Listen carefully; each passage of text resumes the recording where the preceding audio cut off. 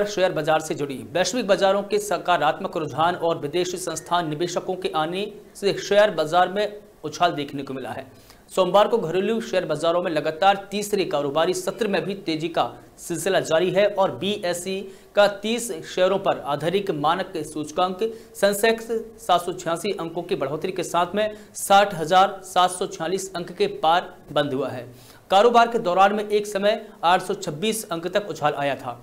एक national stock exchange का मानक सूचकांक निफ्टी में भी 225 अंक की बढ़ोतरी दर्ज की गई है। सेंसेक्स के शेयरों में UltraTech cement, Mahindra and Mahindra H Sun Pharma C bank Larsen and ट्रूबो Bajaj, Finserv और बजाज फाइनेंस प्रमुख रूप से लाभ में रहे हैं।